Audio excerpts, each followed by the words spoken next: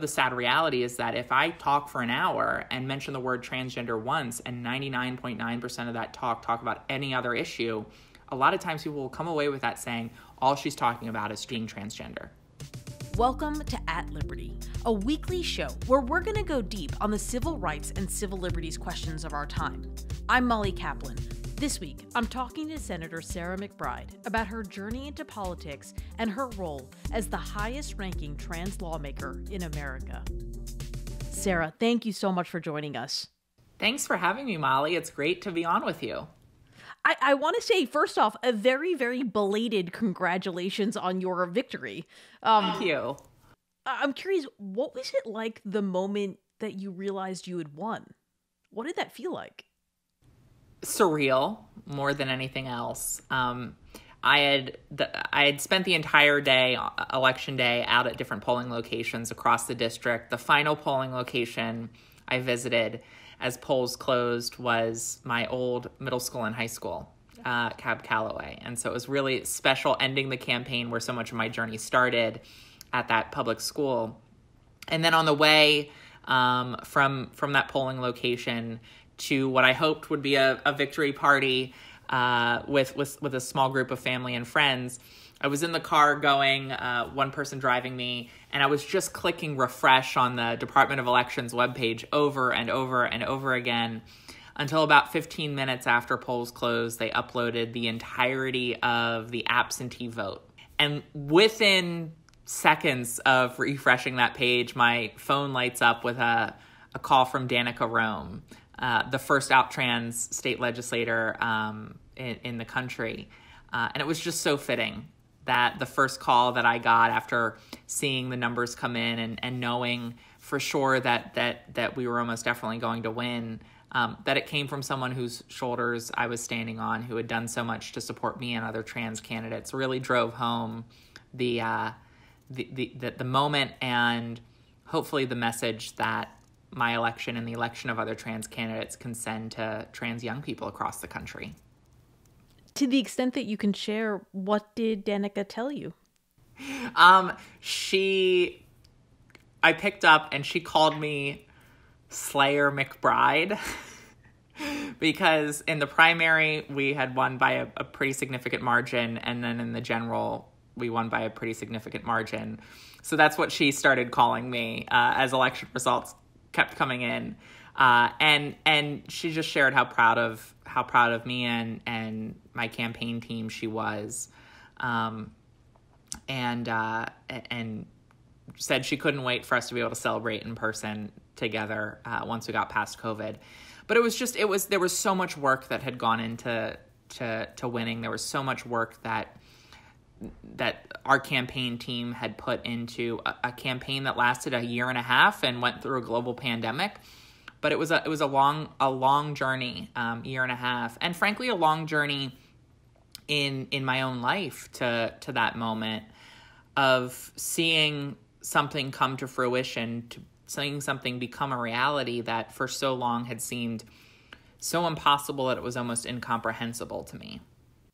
Well, let's talk a little bit about that because you started in politics long before you became a state senator. You were, among many things, student body president at American University, where you were a student. Um, did you always know you wanted to be in politics? When did that first enter your mind? I was I was pretty young, um, probably pretty insufferable as a young person. Uh, no, I, I wanted to be an architect when I when I got older, and I would read about all the different beautiful buildings across the world that that I thought were just one of the highest forms of art. And I stumbled across the White House and the US Capitol.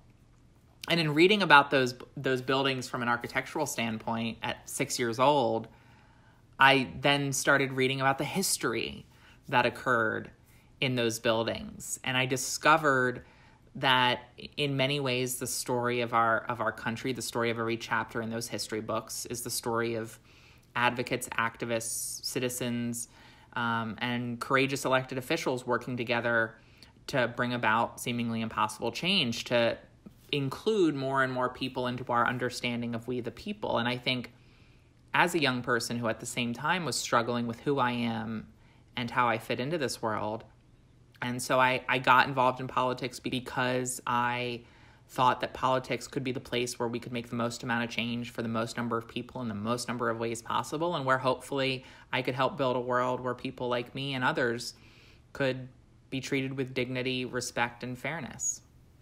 I'm, I'm curious about the hope you felt because um, our history books, especially um, you know, in elementary and high school, are not known for their inclusivity and, um, you know, representation of of of uh, uh, broadly speaking, a we the people.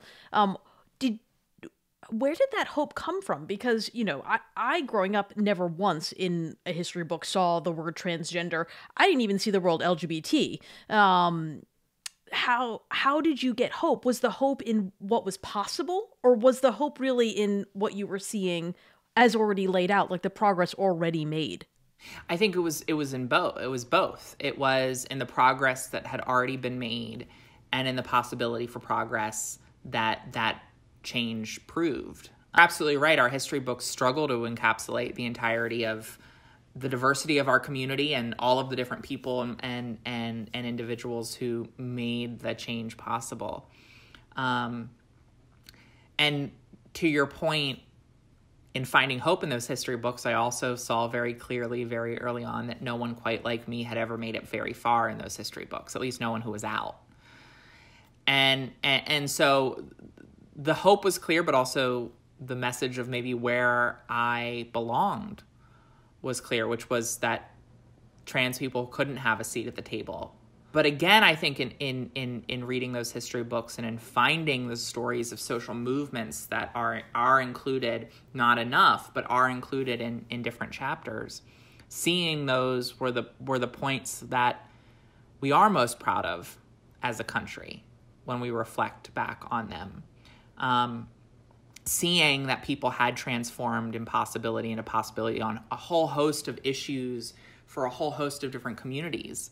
Not enough change, but something demonstrated that we could do the same on LGBTQ equality and on so many other issues. And I think that that's always been the challenge of being a progressive is striking that ba- balance between never being pacified by our progress but also never forgetting how far we've come because the moment the moment we lose track of the change we've already brought, the moment we fall into the trap of thinking that nothing has ever changed, is the moment we fall into a, a, a well of cynicism that will evaporate any kind of energy rooted in hope that we have to bring about the change that's still so urgently required of us. Um, and so that that is this that is a challenge that progressives face. And I think for me, recognizing that history is a necessary ingredient for the path moving forward. You know, the the political arena uh, from an outsider perspective seems like a challenging workplace environment like on a good day no matter who you are and being trans in America, no matter the workplace, comes with huge road roadblocks uh, because of discrimination and legislation that targets trans people or doesn't do enough to put in place protections. Did you ever feel or think twice about going into politics because it just feels so like you'd be so vulnerable? Yes, at, at, at, at, at several points in my life. I mean, when I was growing up, I did not think it was possible for a trans person to be involved in politics. And it wasn't that I wanted to run for office. I just wanted to to have a role in our democracy. I wanted to be able to to to to, to advocate for change, whether that was as an advocate, a, a, a, a campaigner, a government official, regardless of where it was, I just wanted to be able to contribute to bringing about change, but it didn't seem possible. I mean, there weren't even that many examples of, of, of out trans people in advocacy in our political space at that point, publicly in our media. Um, and, and it's hard to be what you can't see. And so, in many ways, my journey to coming out was a process of giving up on any potential to ha- to to have a seat at the table or have a have a role to play in our democracy. It, it, it was a process in many ways of mourning a future that I, I dreamed of, that I hoped for, um, but that didn't seem possible. And that mourning process eventually leads to acceptance, which was both the simultaneous acceptance of who I am, but also the acceptance that that would likely mean that there would be no future for someone like me. Um, now, fortunately, in coming out, what I have seen is that the only things that are truly impossible are the things that we don't try. And as understandable as the fears that I had were, and as significant as the challenges and prejudices are in our society to this day, that as understandable as those fears were, in many cases they were unfounded. And in many cases they underestimated the ability for people to, to meet our stories and our lives with compassion and empathy that could bring about the kind of change that's necessary. And I think also, if I remember, that you came out Wall um, at American University as the president, um, and that on the whole, um, you were warmly received. That that um, when you communicated, people for the most part were very positive, and that your family is very um, accepting. Um, though worried, they were accepting. Do you think that that kind of community support shaped your being able to be brave in politics? Absolutely. Um, and, in many ways, the support that I receive, the privileges that I have as a white trans woman um, born into a, a, a, a, a upper income family with a college education, um, with a supportive family, that those experiences, those privileges, in many ways propelled me into advocacy work for two reasons. One is coming out was the hardest thing that I had ever done up until that point, and yet it was still relatively easy compared to the experiences of so many other people. And I, I felt like it shouldn't be a privilege to be able to keep your family. It shouldn't be a privilege to be able to keep your job or to be able to stay in school, to be able to be welcomed by your community. Those should be a right guaranteed to everyone, not a privilege for the few. And then the second reason why I felt a responsibility personally to go into advocacy work was because those privileges helped me to to to, to shoulder whatever I would need to shoulder as a public advocate. That so many people are are are are, are trying to just survive day to day, and and so those reasons really pushed me into advocacy work, so that one other people wouldn't have to do that, and two, so that the experiences I had would no longer be unique. Hmm. I also want to talk about your late partner, Andy, if if that's okay. Um, the two of you had such a beautiful love story. Can you tell us a little bit about how that relationship with Andy helped you understand what kind of leader you wanted to be? Absolutely. Um, that's a great way of asking the question because I think it, it, it connects with so many different aspects of my approach, my priorities, um, my values. Andy was truly the kindest, smartest, goofiest person I had ever met. Um, when we met, he was about three years older than me, working as an advocate, seeking to expand healthcare to underserved communities, including the LGBTQ community. Um, f- for those who, who are listening who, who haven't heard of Andy before, he was a transgender man. He had come out a couple years before I did. And we met actually um, at a White House Pride reception. Um, more accurately, we bumped into each other. Uh, and I'm ashamed to say I don't remember bumping into him, but he remembered bumping into me and, and messaged me on Facebook with the cutest, most Andy message where he said that he thought we'd get along swimmingly. Um, in fact, I have a framed. Um, someone did calligraphy of the message he sent me with the word with the with the hi. So hi, I'm Andy. I think we'd get along pretty swimmingly. And I thought, who the hell says the word swimmingly? But clearly, oh it's God. someone who I want to spend some time with. Um, and I and I fell in love with him really quickly. Uh, about a year into our relationship, Andy was diagnosed with cancer and he was lucky to have health insurance. We were both lucky to have flexible employer. We were working at the same place by that point. Uh, an employer who helped us take time off without having to sacrifice our income so that we could focus on him getting the care he needed. He got um, radiation, chemotherapy, underwent surgery, got a clean bill of health, and then about eight months later, he received the news that every single cancer patient fears that his cancer was back. It had spread, and for him, it was terminal. When we found out that Andy didn't have much time left to live, he asked me to marry him, and we married on the rooftop of our apartment building in August of 2014. And then just four days after that, he passed away. And my relationship with Andy was the most formative experience in my own life. Um, he taught me how to love and be loved. But e- even more than that, he showed me a couple of things, and my relationship with him showed me a couple of things. One, his work and his life demonstrated to me how the ability to get health care is a foundational human right that if you can't get the health care you need to live, then in many cases, nothing else matters because you won't be able to survive. He showed me in so many different ways, both in his own interpersonal relationships, but also in, in the positions he would take, sometimes in arguments we would have, discussions that we would have, debates we would have, how to live the values I fight for at work in my own life.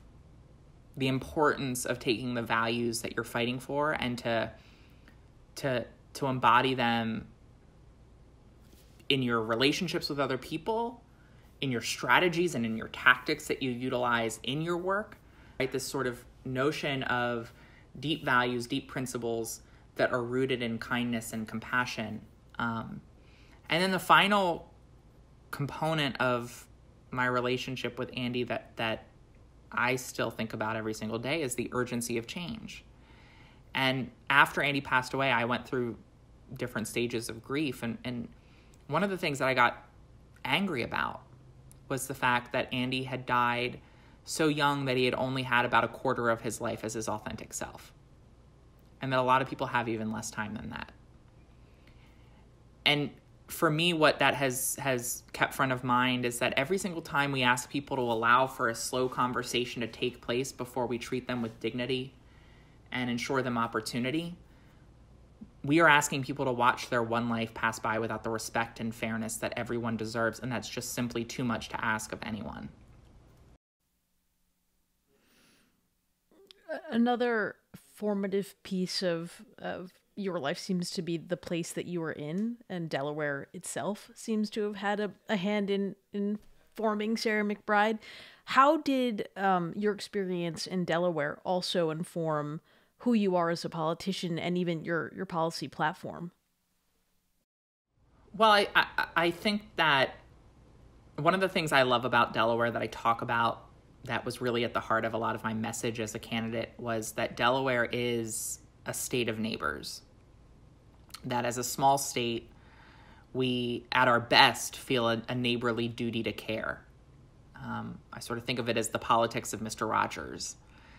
And and when done right, it can be a politics rooted in that radical compassion, um, a politics that can break through the physical, the ideological, the I- identity divisions that we have in our society that can see people as people, as individuals with both unique and common hopes and dreams and fears and needs um, that can share in people's joy and also in their pain. And I saw it every single day during the course of the campaign in the, in the goodness and the kindness of the people that I met, in the hunger for a politics rooted in, in, in compassion and kindness, and in the inherent goodness that the vast majority of people in the community have.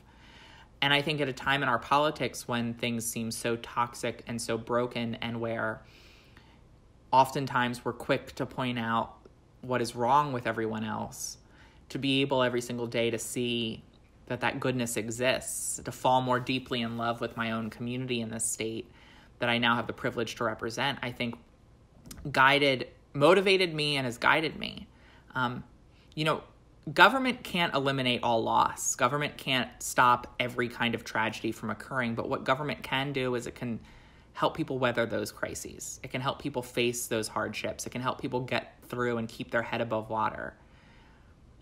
I, I, I think one of the through lines in my entire life is that I've faced challenges, but I've been lucky because of the layers of privilege and luck and support that I've had that I've been able to keep my head above water and get through those challenges and those hardships. But I know that if any one of those layers had been removed, I don't think I would have been able to make it through. And so recognizing that we have a responsibility to level that playing field, to not eliminate every loss or every tragedy or, or to stop every kind of hardship, but to be there and make a life and to make life a little bit easier for people so they can face those hardships and those challenges and get through them and thrive through them. And so for me, that philosophy has guided the priorities. It's been informed by the conversations I've had here. It means making healthcare a right for every single person the best we can at the state level while we pursue federal nationwide progress. It means Delaware joining the growing list of states that have paid family and medical leave for every worker. That's a huge priority of mine. It's one that I'm working on day in and day out. It means a quality education that's safe for every child, not just K through 12, but from early education onward. Um, it means a reimagined justice system that actually protects the dignity of every person. It means action on all fronts. Um, and and I think that if we can tap into people's empathy and compassion, if we can bridge those divides, if we can allow people to see the humanity behind the policies we're talking about, I, I do think that we will not only have the public support, but also the public demand and action to deliver that kind of meaningful change. It sounds like a politics of how and not just what that the the what may change over time and depending on the circumstances, but how we do it that is the piece that for you seems a little bit different. Well, I think the how is how we get to that what. I think the how is how we bring people in and how we we make sense of and make workable the system of government that we have. Um, right. And and I think it's it's it's a politics that that recognizes that we can make bold progressive change while building bridges all at the same time. That those are not mutually exclusive, but in many cases go hand in hand. Mm-hmm know, you've marked a lot of firsts for our country. You were the first out trans woman to work in the White House as an intern for the Obama administration, the first trans person to speak at a major political convention in 2016, and now the first trans state senator. And, you know, most of us will never break a single barrier like that, let alone multiple barriers. And I'm wondering, what does it mean to be the first? And and is it is it both a pressure and an honor or and does it ever get hard to also always have the first attached to your name first trans woman um, you know, is sort of so many of the articles, um, the headlines say first, first, first. Um, but you're more than a first. Um, you know, I have a lot of thoughts about this, and I think you actually just encapsulated so many of them in the question. Um, you know, first and foremost, being the first only matters if I'm not the last. Um, I, I do view part of my responsibility as being as utilizing my role to not just leave a Sarah-sized hole in the wall, but rather to help bring down the wall and the barriers that stand in the way of any kind of person fully participating in our society and our democracy. Um, it is both a responsibility and an honor. I'd much rather be the first than not have the opportunity at all, and, and recognizing how lucky I am to have that opportunity, even if it comes with it certain unique challenges or unique responsibilities. Ultimately, I, I, I don't really think about it on a day to day basis. So I am so focused on the the actual day to day work of my job that I don't think about the sort of symbolic responsibility I might have or the sort of more esoteric, ethereal responsibility that I have to the broader LGBTQ community because I know that the only way to fulfill any of those responsibilities is to do the best job that I can in this role, right? Is to do the best job for the residents of this district, to bring about as much change as I can. And in bringing that change and in doing a good job, it will not only help to bring down those barriers, but it'll help to demonstrate to folks that when you elect diverse candidates, when you elect trans candidates, they're going to be effective change makers, they're going to be effective advocates for their communities, and they're going to be able to work on all of the different issues that they care about and that the community cares about. I think the biggest, one of the biggest challenges is cutting through the focus on my identity to demonstrate the full diversity of who I am as a person, of the passions that I bring, of the experiences that I bring, and of the work that I'm doing. Because I know the sad reality is that if I talk for an hour and mention the word transgender once and 99.9% of that talk talk about any other issue, a lot of times people will come away with that saying all she's talking about is tra- being transgender. Uh, and we know that's true not just for trans candidates, it's, it's true for candidates of marginalized backgrounds, period. I mean, you saw when Hillary Clinton ran, they did a study of her rhetoric and her speeches, and the vast majority of her rhetoric was around jobs and the economy. And the discourse afterwards was, oh, she talked too much about social issues. She, you know, she talked too much about bathrooms. And that just is not the reality. But when we see mark candidates of different marginalized backgrounds come forward, we're primed and and and and honing in on messages or points that they bring up that might be the exception to what they're talking about but we're ready and we're we're, we're primed to think oh that person's a niche politician they're only going to care about women's rights or LG, or social issues quote unquote um, and and so demonstrating one the breadth of my experience but two that all of these issues are inextricably linked, that you can't have an economy that works for everyone if you have anyone kept out of a job because of prejudice or discrimination, but you also can't have equality for everyone if you don't have an economy that works for all.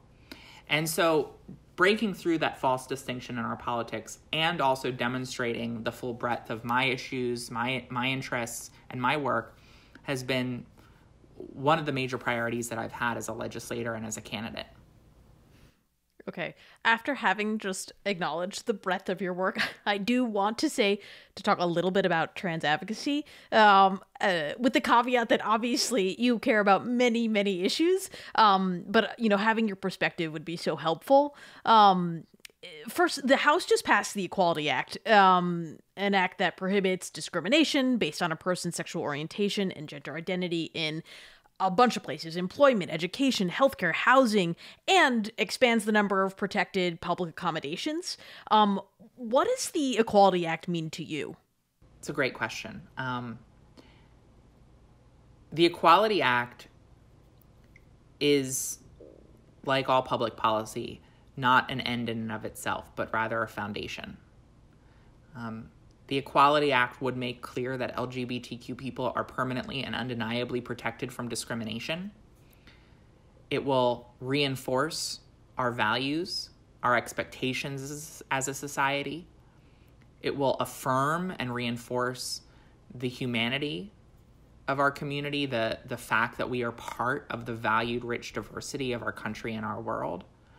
Um, and it will lay a foundation it will provide recourse, it will help to prevent, and it'll help to, to, to reinforce for anyone what the right thing to do is. Because I think when, when anyone is, when, when all of us are confronted with something that's new or something that's different or something that we might not have experience with, some people respond immediately with prejudice, but a lot of people respond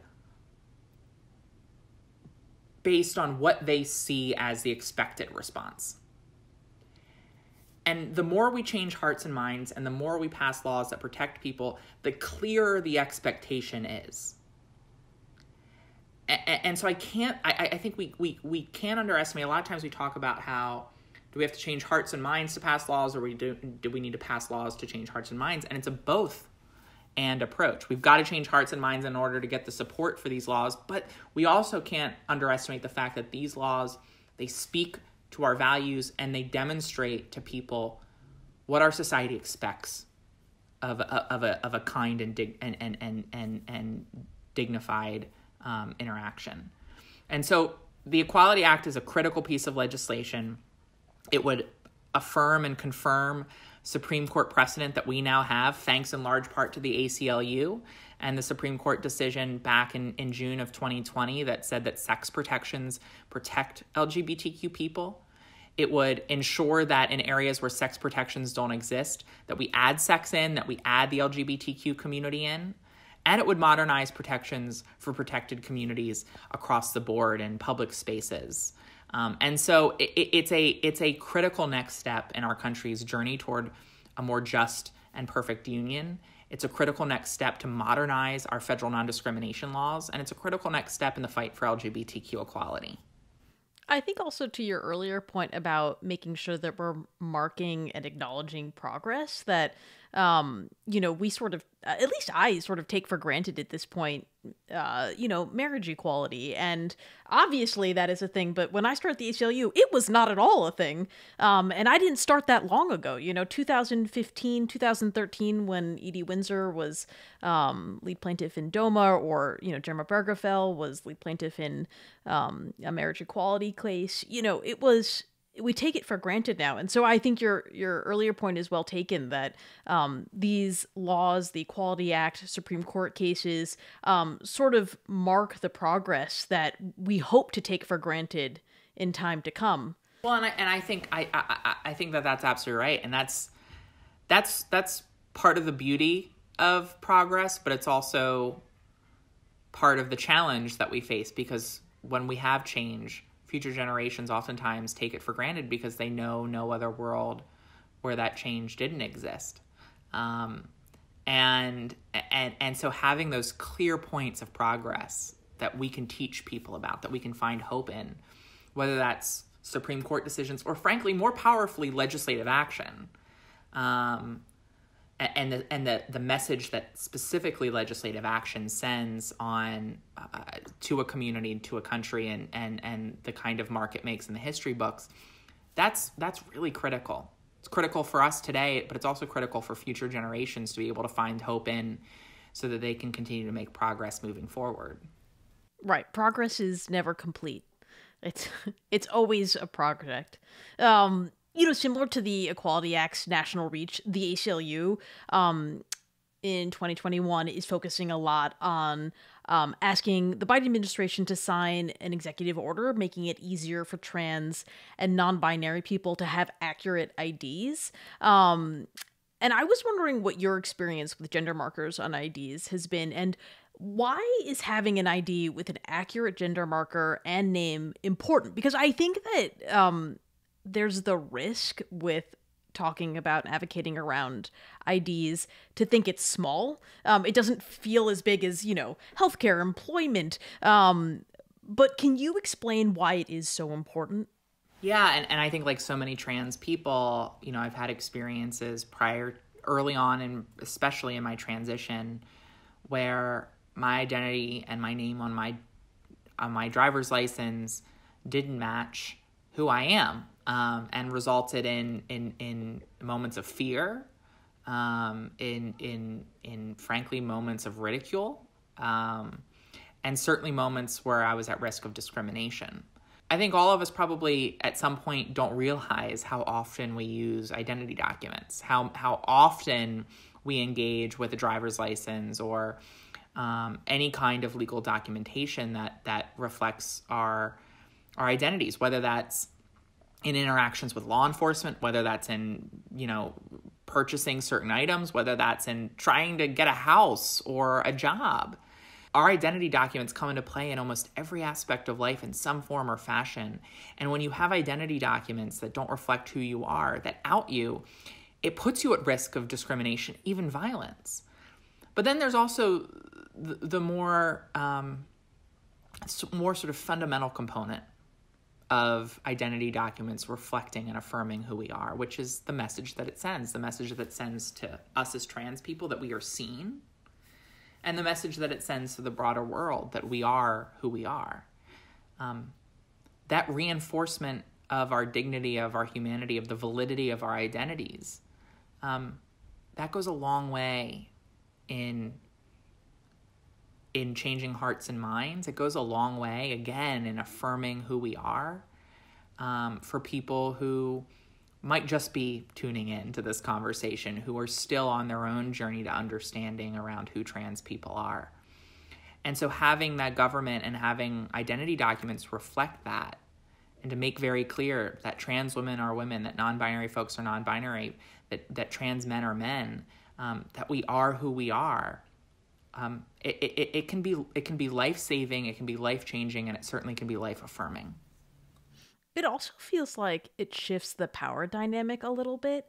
That um, rather than somebody being able to question who somebody is, uh, you know, a police officer pulling you over for a traffic violation, a security guard who's looking at your ID before you can get into a building, that um, being able to have your ID accurately reflect who you are means that you get to say who you are, not you know a police officer not a security officer you know it just seems like a fundamental um, power dynamic shift. It puts us in, in, in, in control over our destiny, over who we are, which is at the end of the day the most fundamental, one of the most fundamental needs and desires that we have as people, not just trans people, but any of us, to be able to define ourselves, to be able to to, to control um, not only our destiny, but but how the world interacts with us, um, to be able to direct that. And um, and and it, it's an it's one of the reasons why you know people think that that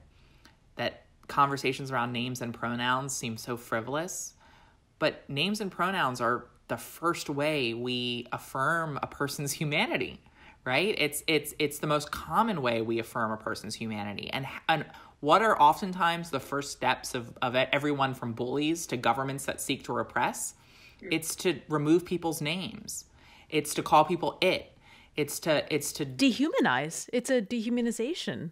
Yeah, it's to dehumanize people and it's typically the first step in that is the removal of names and pronouns by whether whether we're talking about individual bullies or whether we're talking about state sanctioned oppression point. Um i also wanted to ask you know we we are starting to see once again an influx of legislation and conversations in the House, among other places, around um, banning trans athletes in sports. And, you know, the conversation, as, as you already know, has particularly involved trans women and whether or not they should be eligible to play on um, women's teams um, for fear that they would have some kind of advantage, um, some kind of physical advantage. Um, this seems to be just the latest frontier of a long going um, spate of anti trans attacks. Um, you know, first, maybe it was adoption and then bathrooms, and now sports. How do you look at this latest frontier? You know, why sports and what do all of these bands have in common with each other? So I, I, I think a, a, couple of uh, of things. One, we have continuously seen this encroachment uh, or this this this sort of diminishment of the terrain that anti-trans voices are forces are arguing on, right? At one point, it was you know the entirety of the validity of trans people. I mean, certainly they're still arguing that, but that was where the sort of mainstream debate was. Then it sort of moved to bathrooms, and now it's sort of shrunk to this island of of of athletics in, in many ways. Um, but it's all part and parcel of the same goal, which is to undermine the validity of trans people's identities. Um, whether they were t- whether they were just flat out saying trans women aren't women and trans women aren't real is the same argument that was at the heart of trying to ban trans people from restrooms consistent with their with our gender identity. It was to say trans people aren't who they are. And similarly, in the context of sports, it's a it's an attempt to say trans people aren't who they are. And we will codify in law statements that that that that that otherize, that stigmatize, and that undermine the validity and reality of trans lives. Um, I think that that you know the uh, total hypocrisy of folks who have long resisted any kind of parity and funding under Title IX and any kind of meaningful investment in in in in women's sports are now suddenly hyper concerned about women's sports is um, uh, you know quite a leap of of of of um, of priorities uh, and a change in tune. Um, and it just doesn't reflect the full diversity in the spectrum of gender that exists in in our society and in women's sports in general even if you take trans people out of the equation um, you know by definition the most successful athletes are sort of physiologically biologically unique right and and and you know you see in, in michael phelps the, the the the the certain physical advantages that he has. No one talks about that but suddenly when we get into the space of trans women when we get into the space of intersex folks when we get in the space of women of color suddenly we start to use this language of unfair advantage um, when we don't do that in any other instances of uh, particularly white men in, ath- in athletics um, or, or even really white women in athletics who reflect a broad range of skill and aptitude and and and um, and capacity.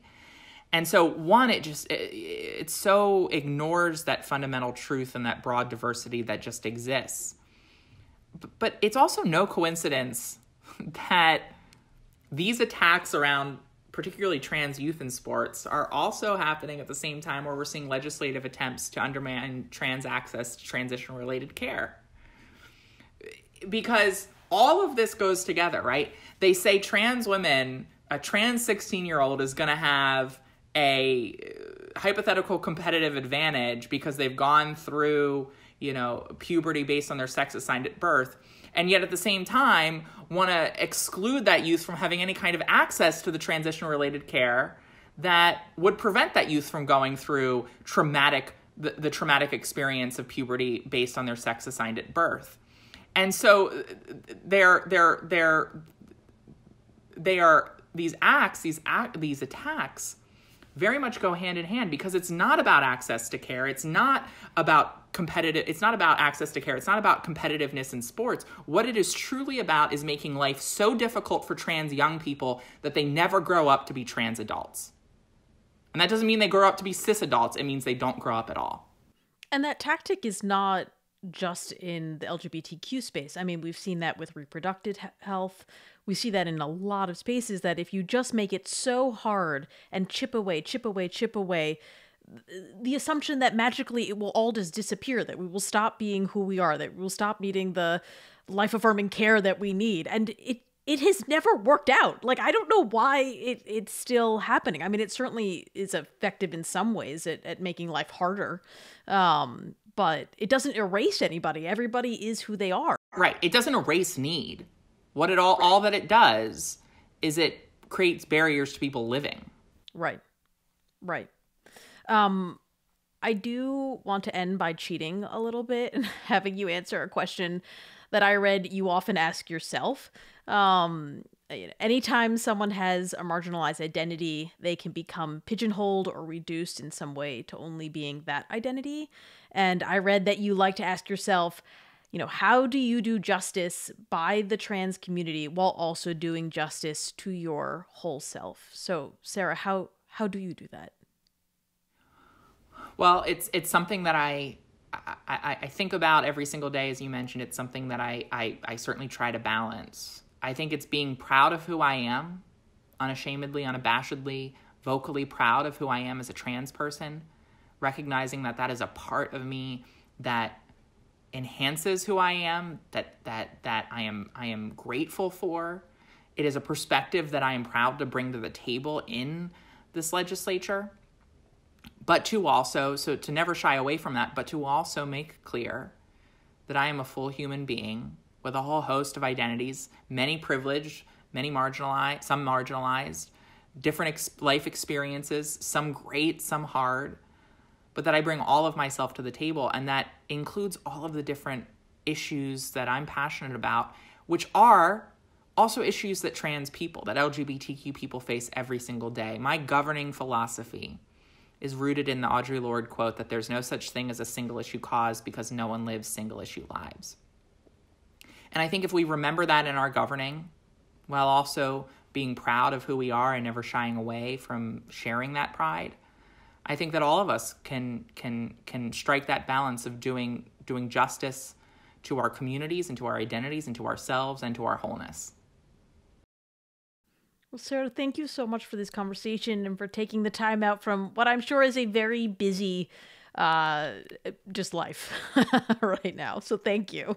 Well, it's been a pleasure. Thank you so much for having me on and for this great conversation.